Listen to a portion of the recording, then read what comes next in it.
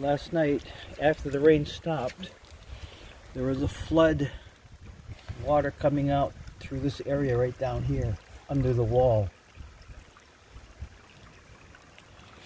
And we can see what it's done is weakened or eroded the soil under the wall.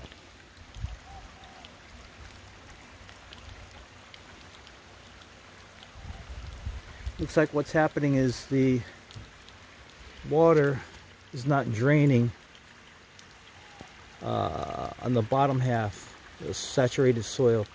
You can see this stream of water starts from here. There's no big flow of water up here because there's not a lot of uh, capacity to hold water. But you can see what's happening is the water is being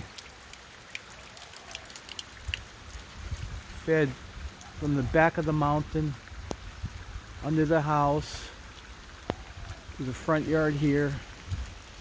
It hits this area and runs down here and the water captures in this whole area here. Once this ground gets saturated it drops down to the table here, that's that's the water table right there. The height of the water at that point. Right now it's starting to come out down here and up here so the water's already sat uh, filling up the basin behind the wall and here's a good example of what I mean so we know the water's at this level already. You can tell it. That's a lot of water pressure coming out through there, coming out through here. So the water is, all this water is actually what's seeping out from the wall. See, there's nothing here. If you look down here, we got that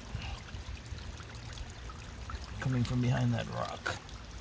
Just like that coming behind, behind that rock. So we got a lot of water under here. There's a lot of water coming through this. You can see it starting around here. through here.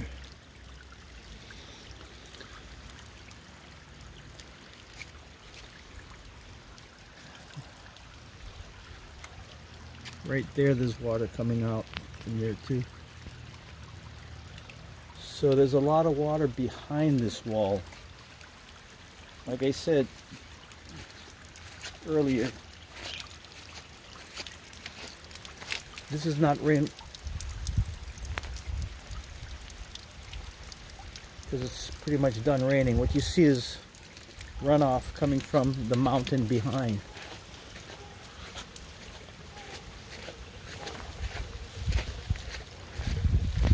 I'll give you an example. This is coming from behind the house.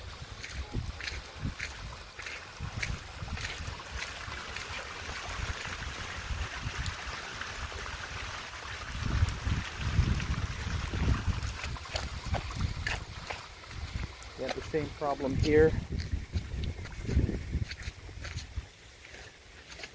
Very little water here. It all starts with this crack right here. You see the water coming out of there? There's not enough weep holes, that's for sure. And the weep holes got to be lower in the bottom. Not high up on the top.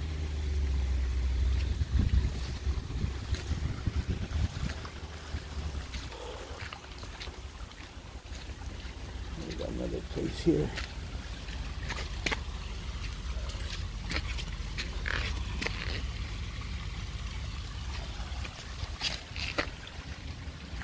That's where we stand right now.